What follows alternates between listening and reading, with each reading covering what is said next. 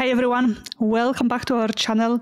We continue our journey into data science, data engineering, data ingestion, and playing with data at Microsoft Fabric. In this episode, we have a privilege of hosting Jenny as we are going to discuss Fabric Spark AutoTune, a new feature, combined together with Run Series Job Analysis. Hey Jenny, nice to have you here. Hi, Estera. Thank you for having me. It's a great pleasure to doing the session with you, talk about AutoTune and the Run Series. Yeah, that's great. So let's dive right in. Can you tell us more uh, what's the Run Series job analysis functionality about? Yeah, definitely. Uh, essentially, the Run Series analysis feature classifies the Spark application into different run series based on the item type, such as notebook SJD or pipeline activities. This feature auto scans the run series for performance training analysis across Spark applications, and it detects any anomaly among all the Spark application runs. In particular, it offers several benefits. Uh, first one, it allows the run series comparison you can compare the duration of a particular book run with that of, with that of previous runs and evaluate whether the input and output data is the root cause of the prolonged run durations. So that's the first benefit. The second benefit, this feature auto performs the anomaly detection and analysis. It highlights any outliers in the run series and analyze those outliers and pinpoint the potential contributing factors. So that's the second benefit. The third benefit, the, it also allow user to view a detailed information for a particular run instance. If you click on a particular run instance, the feature will give, give you all those detailed information about the time distribution, and it can also give you some recommendations, some analysis about the performance enhancement opportunities. So that's the third benefits. And the fourth benefits, you can also with the corresponding Spark configuration used for each run. Uh, that including the auto-tuned configuration at the Spark SQL queries. Moreover, to summarize, moreover, you basically you can leverage run series analysis feature to compare and analyze the outcome of the auto-tune. It allows you to view the performance for a particular run along with the corresponding input and output data. It also examines the execution time breakdown for each run and observe the auto-tune configuration values for each Spark SQL queries. Yeah, basically that's a quick summary about the Spark Run Series feature. So to recap, uh, the key benefits are comparison of the run series, so on the repetitive execution of notebook of a job, detection of outliers, right? And uh, details about the specific running instance view. Correct.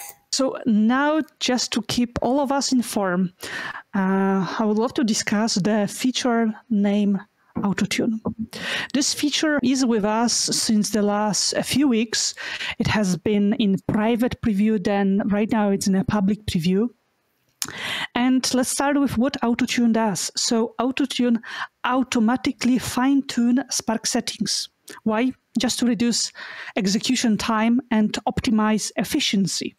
You can do it manually. You can right now you can tune your jobs or query by query uh, by hands based on your deep expertise in Apache Spark. And it's challenging. We all know that.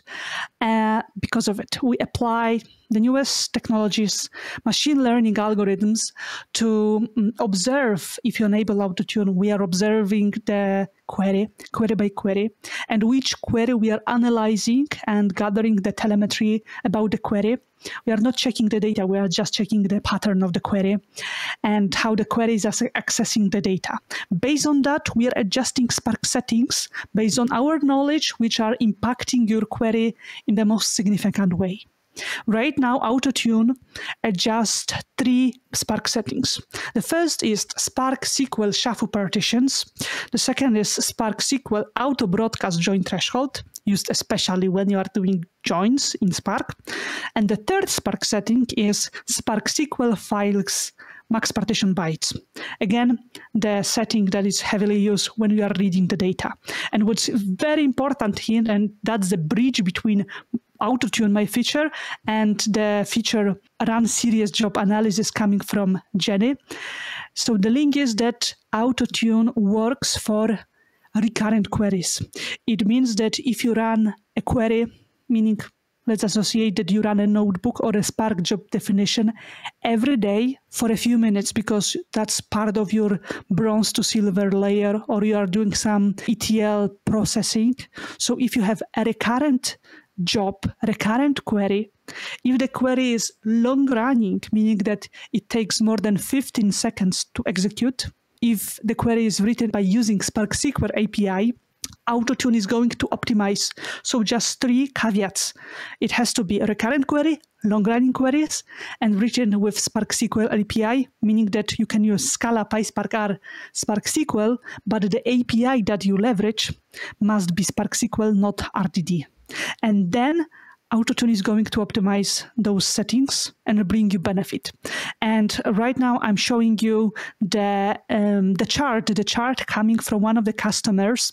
In this case, we started with execution time in around 500 seconds and with over and over after iterations that can happen every minutes, every hour, every day, by applying AutoTune, that feature, we are going to minimize execution time. And that chart has been created by just a very simple uh, telemetry based uh, analysis tool, but because like we analyze telemetry and we capture those results. But for every user, it must be super simple to observe what's your execution time for your recurrent job. And that's connection be between AutoTune, meaning that it's challenging to observe the impact of, of AutoTune without using run series job analysis. So maybe right now it's the perfect time to do the demo. Here is the Fabric Monitoring Hub for all Spark activities. As I navigate through my Spark tasks, I've noticed that one of our notebook pipelines has been running for an unusually long time. Let's dive deeper by using the Monitor Run Series feature, accessible from the context menu of this Notebook Run activity. This allows us to view past Notebook Run activities from the same pipeline. Here we are on the Run Series Analysis page. It automatically displays past run instances of this notebook from the pipeline. Observing the duration trend, I can compare the duration of the current run with previous instances, helping us identify any discrepancies or patterns over time. I can also view the input and output data for each run instance and evaluate whether the prolonged run duration was due to increased data processing or other factors. If I want to know more about a specific run instance, I can click on it to view detailed information about its time distribution and identify opportunities for performance improvement. I can also click on the Spark execution duration to see the breakdown of the execution time and further identify opportunities for optimization. For advanced Spark running scenarios, I can also view the corresponding Spark configuration that was used for that notebook run. For the notebook run with AutoTune enabled, I can view the AutoTune optimized configuration for each Spark SQL query. If there are any outliers in this run series, the run series analysis engine scans the Spark executions and detects the outlier.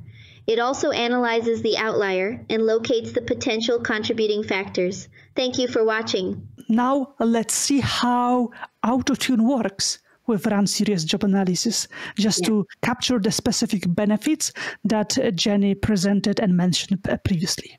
Yeah, yeah. Basically, our auto tune. The goal is to make sure the Spark is performed by default.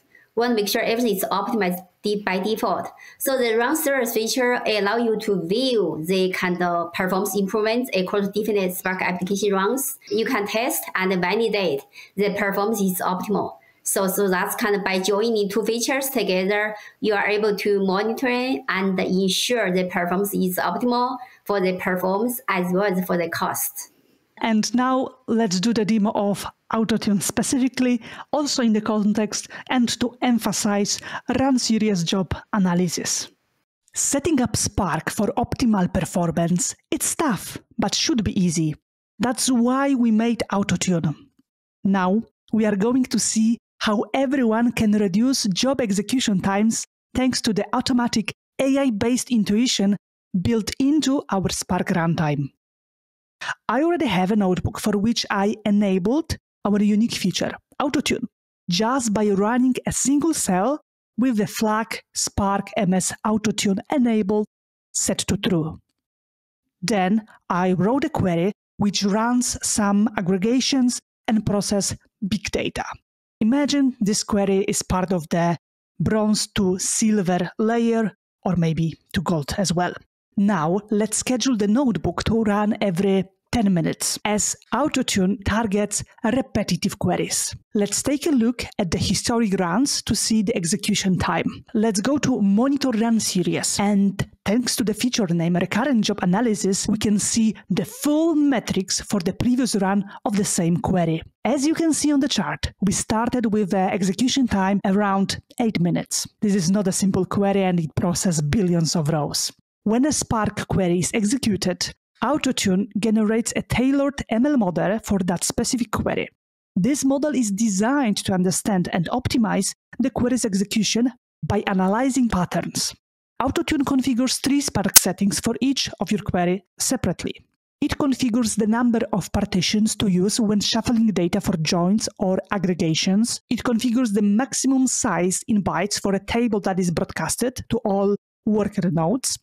AutoTune defines the maximum number of bytes to packed into a single partition when reading files. To recap, AutoTune automatically adjusts Apache Spark configurations to minimize workload execution time and optimize overall performance. This feature empowers you to achieve greater efficiency with fewer resources. And the best part, as of now, AutoTune is available in all regions, so you can easily enable it for all your Spark notebooks and jobs. I'm super happy that uh, you could watch you could uh, experience and see and witness how AutoTune works with uh, run series job analysis. Here is one more uh, demo uh, I wanna um, show you, I wanna present. Uh, it's time for Yuwin, our principal data scientist, who has worked on AutoTune specifically for the last uh, a few years because bringing ML-based solution to reality and to the engine like Apache Spark, which is super complex, is challenging and it requires cross-team collaboration also with the team of data scientists. So uh, Yuwin is going to lead us through the details how we used, how we applied machine learning in action in AutoTune. Hi, Estera. Sure. Uh, the data science behind AutoTune involves developing an algorithm to search for the configuration space, the one that comes with the best performance. And specifically, one of the biggest challenges we are looking at is about the potential performance regression, especially during the first few iterations of uh, exploration. So a lot of the traditional algorithms, they will search for all the different spaces, about the different combinations, and some of them might potentially be very, very bad configurations. So that might lead to bad customer performances. And the second one is that we are trying to see on the other side of the story whether we can leverage some type of gradient descent type of approach to look for the configuration that has the best performance. However, this type of approach sometimes converge very slow. So with AutoTune, we develop a new algorithm that combines the best of the two, that we both leverage a guided search from a machine learning model, while we confine our search space to a very small region such that we can avoid potential huge performance regression from there. And the second challenges we observe is in the production environment, we always have a lot of noises in our observation. So this guided search sometimes might be uh, misguided to a wrong direction. So for that, what we try to do is to leverage statistic analysis to learn what is the trend of the configuration versus the performance overall. So as opposed to like you see here, we have a little stitch because of the configuration and maybe some noises, but the general trend is telling us that increasing the configuration will result in a better performance. And then in the next iteration, we will move towards that. And the last piece we are get we're adding here is we have a guardrail that we developed to automatically um, determine the situation whether we are looking into a performance regression in the future. And then with that, we will automatically send an alert to the team for investigation and also turn off the feature um, just to post uh, and fall back to the default. So with all the three pieces together, uh, that is the feature you are seeing in the production. Thank you. Jenny, thanks a lot for joining me here today, as that was a huge fun to share lots of details about AutoTune combined with run series job analysis. I want to ask a question because, again, those two features are still in public preview. What are your plans to push run series job analysis to the GA stage? What's the timeline? Yeah, that's a great, great question, Sarah. Yeah, a lot of customers ask for this question as well. And we are looking to GA this feature maybe in a few months down the road. So basically, right now, we'd like to get the customer feedback and to improve the experience to a new level. And the second, we'd like to make sure those features meet all those like accessibility, some other fundamental compliance requirement before we announce the GA. Yeah, but definitely it's in our roadmap to go into public as, as a GA feature in the in a few months. Yeah. Awesome. And I can comment that a similar for AutoTune because this is a performance related feature and uh, moral like we know how customers are using apache spark and our engine. At the same time there are so many combinations what customer can do what you can do. That's why i encourage you if you enabled uh, autotune if you want to share the results with me or you have any insights please reach out to me directly through different so- social media or directly by email. I'm happy to chat I'm looking to gather the customer evidence coming from the first hand, coming from you, and coming from your scenarios, because validating performance features using TPCDS, TPCH, TPCDI, different benchmarks is not always a reliable option. We love to see the impact of that functionality on your data, on your scenarios, on your queries. Good. That's all for today. If you enjoyed this episode, be sure to hit the like button, leave the question, subscribe the channel, and until the next time, happy playing with AutoTune and run series job analysis mm, and exploring how you can use Fabric the Spark. Thank you so much. Thank you. Next time.